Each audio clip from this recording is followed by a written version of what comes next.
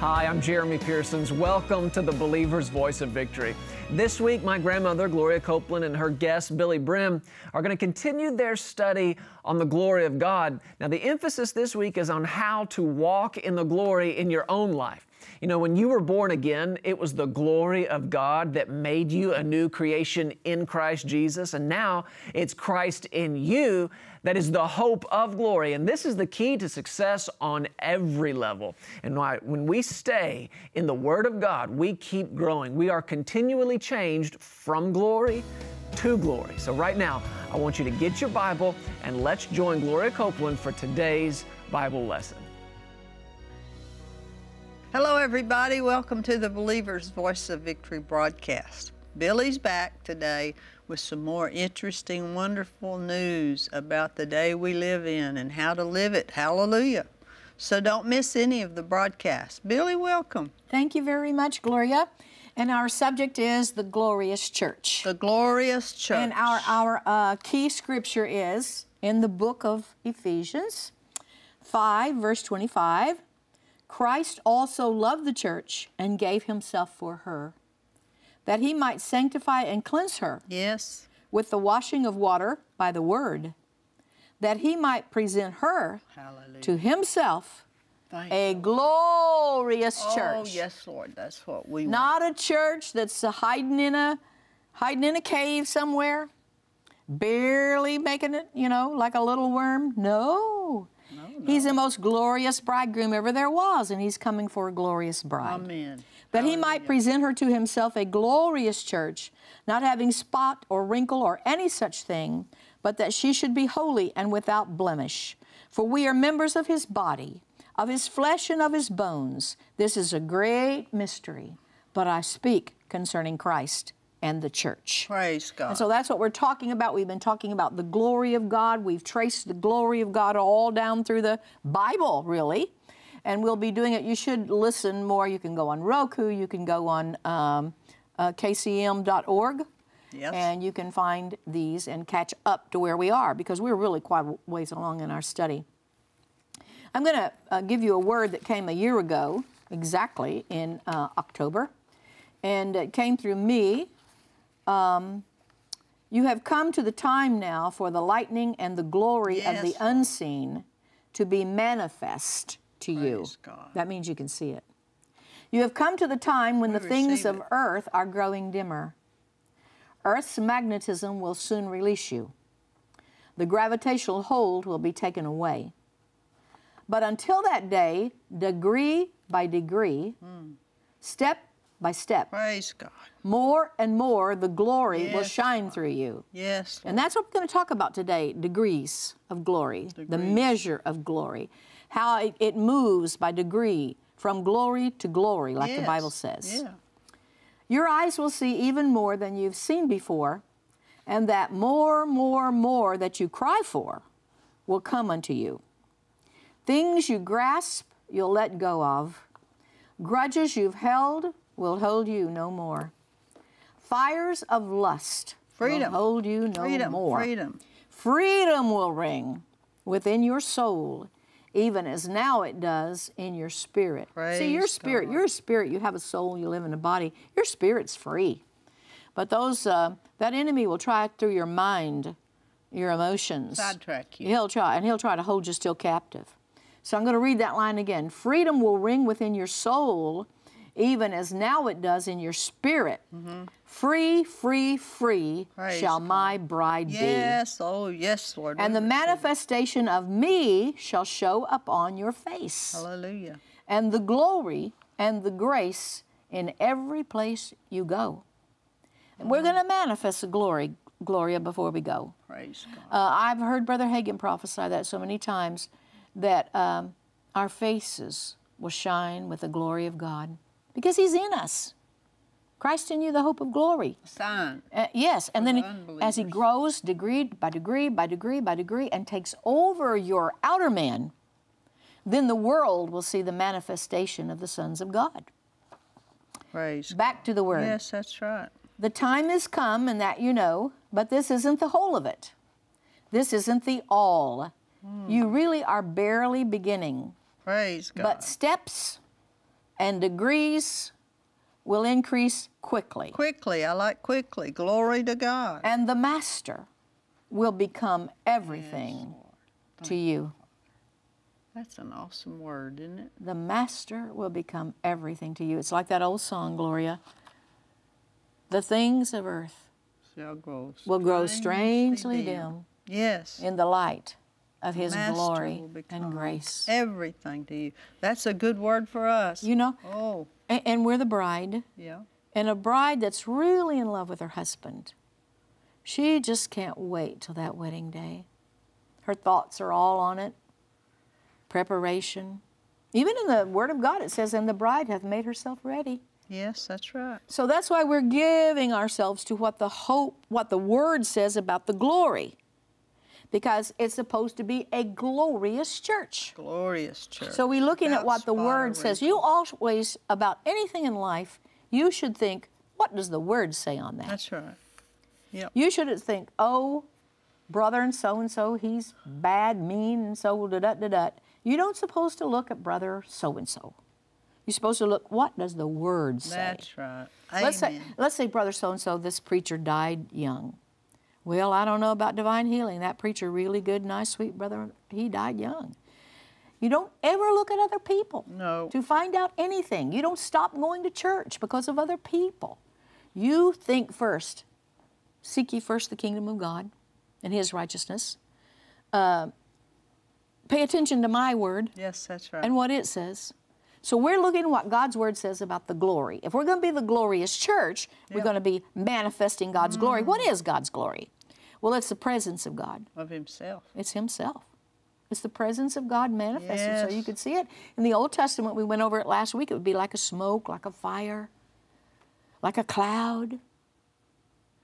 But you can see it, and Moses' face shone Yes, it did. with it.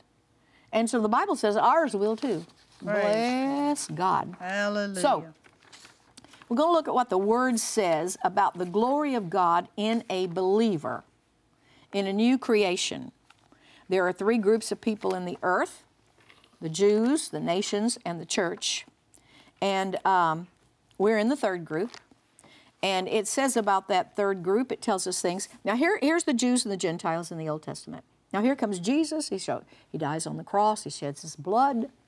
And now, any person, any Jew, any Gentile, you, you only have to believe one thing that God raised Jesus from the dead. You don't have to believe in divine healing, tongues, nothing. You just have to believe Jesus died for your sins and God raised him. And then, if you I confess him, believe it. yes, ma'am, and, and if you believe it in your heart that God raised Jesus from the dead, and you say it with your mouth, you're born again. Confession is made unto salvation. Yes, that's exactly right, Gloria. Confession Glory is made unto salvation. Oh, yes. So you did it. Oh, I Oh, remember. we What'd did you say to him now? Well, I didn't know exactly what I was supposed to say, but here's what I said. I said, Take my life and do something with it, Lord. I never dreamed this would be it, but that's No, what I said. you become shy in a And way. Was- oh, yeah. And I'm so glad I did. You're so glad you did. I said, and you, you said, Be my Lord. Yeah, You said, Do something with me. I give my life to you That's to do something with. that's right. and He knows what to do with every grateful. life. So when you do that, he's got a plan for everybody. He does. And it says in 2 Corinthians 5:17, if any man be in Christ, he's a new creation. Mm-hmm. Old things are passed away, behold all things become new. And 1 Thessalonians tells us you are a spirit. Yeah. You have a soul, mind, will, and emotions, and you live in a body, but you are a spirit. The Bible talks about the inner man and the outward man. And when you're born again, in that inner man, everything becomes new the minute. Yeah. The Holy Ghost kills you, really. Kills that old man, he's gone. Replaces him. And you get the life of God, the seed of God. You're A new creation, the a Bible new says. creation right here. And some uh, translations said a new species, something that never, ever was before. I, I don't like people. I used to be a Gentile, but I'm not anymore. I was in a church service once, and the pastor said, Everybody who's Gentiles, raise your hand. I didn't raise my hand, I sit on them. He kept saying, If you're a Gentile, raise your hand. I'm not one. I wouldn't do it. I can't go against a You don't word. I don't want to lie in church. I used to be one, but I ain't no more. That's right. I'm in that third group. I'm a brand new creation. Amen. Now we're going to look at what happens to you as a brand new creation, and we're going to look at Second Corinthians uh, chapter 4, verse 3.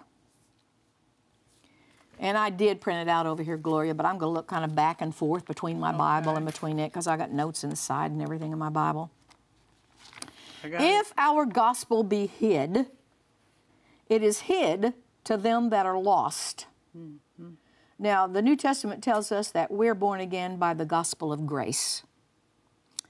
God's grace. It's just like a big old ocean up there Favor, of just the grace. favor of God. goodness. But it's got to get to you through faith. By grace through faith. Mm-hmm. So you exercise faith in the grace of God. And that's the good news, the gospel of grace. That's right. But Satan, he doesn't want people to know about it. He wants them to think they got to work themselves and religion's no fun and why not just forget it? So he hides it. He has blinding tactics. It says here in verse 3 if our gospel be hid, it is hid to them that are lost. So I know you all know people that are not believers. It's hidden to them. They don't see it. They don't even see why you see it. That's right. Why don't they see it? Because the God of this world, Satan, has blinded the minds of them that believe not. Lest something would happen. The mm, light Light. of the what? Glorious gospel of Christ, who is the image of God, should shine unto them. The gospel full of glory. Exactly. Exactly, mm, Glow. Hallelujah. What a great name you've got, Gloria. Oh, I like it. Yeah. But think about it. If you're going to be a glorious church, it's going to take the gospel of glory to get you into it. That's right. And it's called the gospel of glory. Remember, we studied how man fell from the glory? Yeah. But God then has sent the Lord of glory. Oh, we went into this detail last week. You got to go back and get it. He sent the Lord of glory that we could be lifted back up Praise into the God. presence of His glory. And it wouldn't kill us. it's an awesome plan. It's an awesome plan. Hallelujah. I think this Bible is a story of the glory. yes, it is. So he's got these people blinded like a hammerlock on them because he doesn't want them to find out they can move into the glory. That they're world. free from Him. Yes. He, he does not want the light of the gospel, the glorious gospel. Now that's important. God doesn't put extra words in the Bible. It's the glorious gospel of the anointed one who is the image of God. Remember that. Now he's the image of God, Jesus, mm-hmm. should shine unto them. Praise God. Verse 6 For God, who commanded the light to shine out of the darkness, has shined in our hearts to give the light of the knowledge of the glory of God in the face of Jesus Praise Christ. Praise God. Now, God who who said who commanded the light to shine out of darkness. That's a reference to Genesis 1 2. God said to that dark, dank world that it had become after Satan fell, Light be. Yes. And that same God, in the dark little spirits that are dead to God, He wants to say, Light be, and shine unto them, and give them the light of the knowledge of the glory of God and the whole great plan of the Praise glory of God. God to give you, to give you right and access back into God's presence.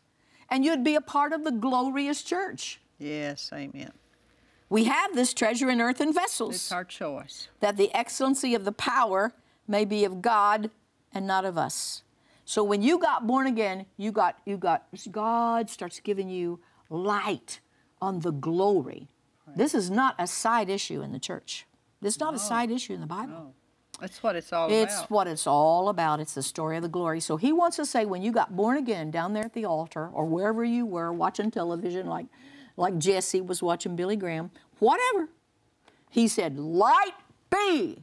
And suddenly, Jesse, I'm thinking about Jesse this morning, Jesse Duplantis. The light started shining. And what light? On the glory of God. Now, we've been talking about the mystery of the church, how it was hidden from ages and generations. Old Testament, no. It, the, the New Testament church is not a fulfillment of prophecy. It was a mystery, it's hidden. Hmm. So now here is succinctly Colossians 1:26 that mystery. Many places it talks about it in the New Testament in the letters. All the Bible's for the church, but not all the Bible's about the church. The Bible about the church is the New Testament letters. So in the New Testament letters, after Paul got the revelation of the mystery, here it is succinctly. Colossians 1:26. Even the mystery which hath been hid from ages and from generations, but now it's made manifest. Paul got this revelation after 17 years of being, we went into that, being aside. God gave him the revelation. And here's the mystery. To whom, Colossians 1:27, God would make known what is the riches of the glory of this mystery among the Gentiles, which is, here's the mystery of the church, Yes. really succinctly. Hallelujah. Christ Christ in in you, the hope of Think about glory. it. Think about it. Hope of the manifest presence of God. Mm-hmm. Christ in you, the hope of glory. That's right. Hallelujah. And now we turn back a page and we see how this works. He comes Christ in you, he's your hope of glory, and he comes by degree. He, when you're born again, you have all the glory you can tolerate at that moment. Any more might kill your flesh. But you've got a degree of the glory of God in you. Now that is supposed to increase until it takes you over. And we turn back a page in my Bible and we go to 2 Corinthians chapter 3 and it talks about some people who when they read the Bible they got a veil on their face. But it says here in uh, 2 Corinthians chapter um, 3 verse 18, but we all with an open face, we don't have a veil over us No. after you got born again. We all, with an open face, beholding as in a glass, that means mirror, the glory of the Lord, are changed into the same image from glory to glory, even as by the Spirit of the Lord. Now, we all see, and what's it talking about? Looking in the Word. Some people have a veil over their heads when they look in the Word. I, everybody Blinded- does. Blinded eyes. They, they, they're- don't have it, they can't see it clearly. But once you get born again, you don't have that veil anymore. And you look in the Word, we all with an open face, beholding as in a mirror the glory of the Lord, are changed into the same image from glory to glory, even as by the Spirit of the Lord. When you're born again, you have all the glory you can stand. You look in the Word and you look for the glory of God, and the Holy Ghost is working on you, and He's changing you from one degree Yep. of glory. You can have more and more and more of the presence of God, the power of God manifested in you. But you got to look in the Word. Bless the Lord. Praise God. Here it is in the Amplified. Whenever a person turns in repentance to the Lord, the veil is stripped off and taken away. And all of us with unveiled face, because we continue to behold in the Word of God, as in a mirror, the glory of God, are constantly Yeah. being transfigured into His very own image in ever increasing splendor and from one degree of glory to another. For this comes from the Lord who is the Spirit. As we continue to behold in the Word of God. In the Word of God. He changes. The Holy Ghost changes you. Yes. It's His job to if you change don't you. continue, You're not you getting changed. changed. It's your job to go in the Word That's and right. look for the glory of God. Praise I, I worked God. for Kenneth E. Hagin. You know, in 1970, I started working for him. He's a great man of God, man of great faith and great love and great power. yes, he was. And I was the He editor is. of publications, and he'd be out on a crusade somewhere, and I needed to talk to him about something I'm going to put in the Word of Faith or in a book. So I would say, when Brother Hagin comes home, I need to talk to him. And he'd walk in the office, and I'd get tongue tied. I couldn't Hmm. even say what I needed to ask him about. He didn't help you either. And I no, he just He stood there. No, you know, Brother Hagin. and so he'd just stand there, you know, and I I was bumfuzzled. I felt like God walked in the room. So I would beat myself up. I'd say, Billye Brim, you know that that man is not God. Why are you acting like that? So years later, when God could tell me and teach me, He said, This is the plan. You get the glory of God. You look in the Word of God, the Holy Ghost changes you, and then the glory increases, the glory degree by degree. Yeah. The glory of God is the presence of God grow. manifested. You grow up. Uh-huh. He said Brother Hagin and some of the other people have they have yielded to the plan. And so it is God you sense. It's God in them. Yeah. The glory, the presence of God. No, they're not God, but the presence in God. Them, they've lit, they're, they're more and more and more to the image of Jesus. They're indwelt by Yeah. And He's risen degree by degree by degree upon them. Bless the Lord. Yeah. So then later I met other people, the same thing. We grow up. And, And the glory, the presence increases on you And we don't ever quit growing up. till we're into the very image of the Master. Praise God. Yes. The very image, his very own image, as in a mirror, the glory of the Lord are constantly uh, being trans they are constantly being transfigured into his very own image. Now as we spit we, we, we get born again, we begin to learn what the Bible teaches and obey it and accept it and say it, confess it, we begin to, to grow up spiritually. And this is what this is talking about. We're transformed, and we don't ever quit growing. No, we, I, we may not ever quit growing after we go I to think, I think you're probably right about that, Glow. But we know we don't quit growing down here. So we mm. stay in the Word. We get in a good church or under a good teacher that teaches the Word of God, not just ideas, but the Word of God. right. And we're changed. We're continually changed. Glory to God.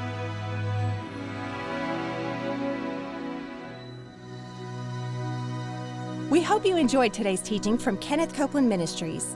And remember, Jesus is Lord.